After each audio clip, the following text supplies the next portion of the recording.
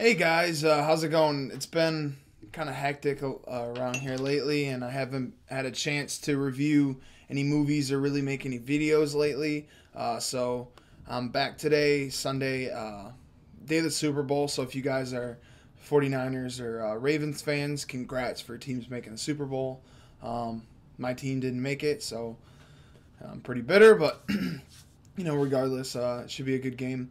Anyways, um, I'm back with the one of the final two installments of my top, um, my top 25 of the year. This is uh, part, this is part four, so it's uh, number 10 through six, and uh, just jump right into it. Number 10, End of Watch. Uh, I really, really loved this film. I walked out and I was like, wow, what a great movie. And, and I wasn't expecting that. I actually didn't expect a whole lot out of this movie. Um, it just wasn't something that looked very good. The trailer didn't look good. It looked like a an action movie and not what it was. And it was actually a, a, a very good buddy cop movie. You know, I mean, not like comedy wise, but these guys had great chemistry with one another, and they it actually felt like a real, you know, um, you know, like cop film. And uh, honestly, if you take in that film, if you just simply take out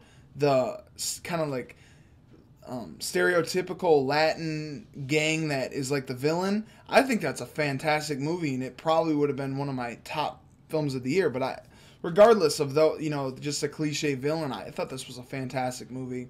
Great performances from Jake Gyllenhaal and uh, Michael Pena, and Anna Kendrick is just fantastic in it as she always is.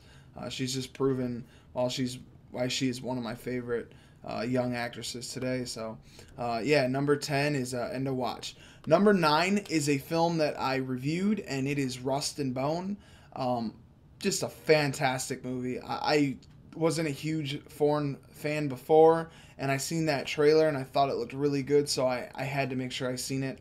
And I uh, I loved Rust and Bone. I thought the performance, in, uh, the performances in it were fantastic. Uh, both of them are probably going to be on the tops of my list. Uh, it just the whole storyline and everything about it was just fantastic.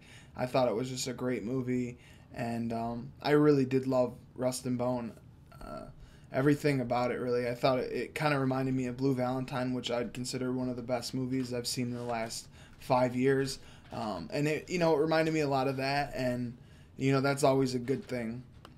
Um, yeah, so Number nine is Rust and Bone. Number eight, Killing Them Softly, a movie that I, I praised a lot in my last video, the supporting acts. And, uh, you know, this movie is just a, a, fantastic acting showcase. I think that the, the support is better than, you know, Brad Pitt's main performance, but nonetheless, he still gives a great performance. And, uh, you know, I, I just, I love the entire film. I love the final you know, a lot of people didn't like the ending, and I know a lot of people didn't actually like this movie. If you are one of those people, leave a comment. If you didn't like it, tell me why you didn't.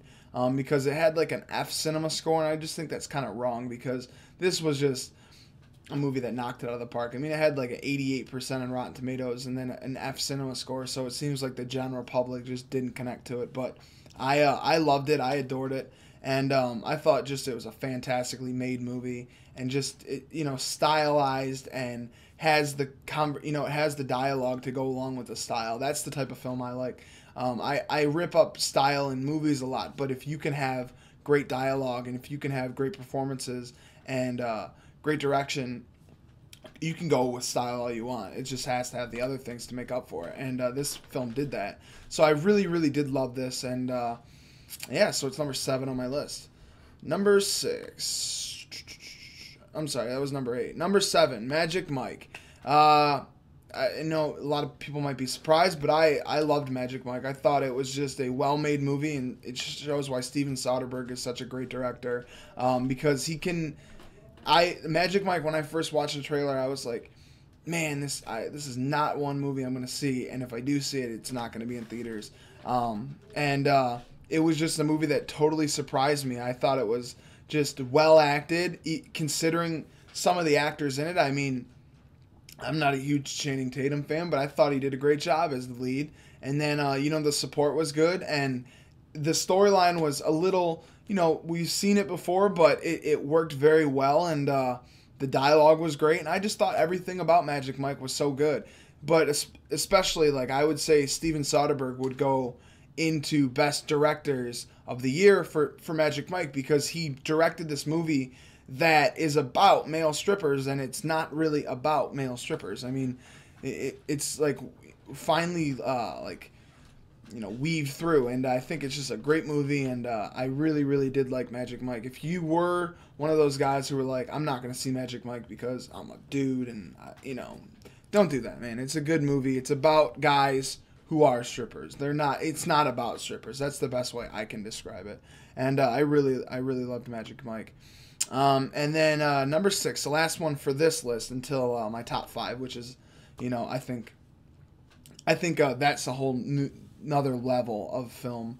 Um, they're the closest to tens that I have this year. But number six is a film I seen in the summer and had zero expectations for, and I, I just fell in love with it instantly. And that's Your Sister's Sister, um, a little mumble mumblecore flick that uh, I thought it was fantastic. I think the performances from all three of the uh, all three of the characters, Mark Duplass, Rosemarie DeWitt, and Emily Blunt, are just fantastic. It's just a charming little movie. I love the storyline. I love you know, I love everything about it. it. It has one of the biggest laughs of the year for me, and then it has some of the more sincere moments, and then it's just a has fantastic conversation. It's all improvised, but it's all it was just fantastic just how these people were sitting at a table like this and just talking and uh, I love movies like that. And I just I really adore this movie. I think it's one of the better films of the year, and uh, I can't wait to see her next movie that just premiered at Sundance. Uh, as it has Rosemarie DeWitt in it too. Um, I it's called Touchy Feely, and uh, I just really like what Lynn Shelton did here, and I can't wait to see more of her movies. Um, yeah, so that's it with uh, part four of my of my top 25. I know it took a bit, but uh, you know, just keep. Um, I will post it sooner than later. You know, this one took like a week in between, and uh, it was just because I was kind of busy all week. But I will definitely post this next one in the next couple days and get this knocked out of the year. Um, because I mean, it's already February now. I didn't expect it to go into February, but yeah. Uh, if you guys are, you know, Ravens fans or Niners fans, good luck in the Super Bowl and uh, enjoy the game, guys. See ya.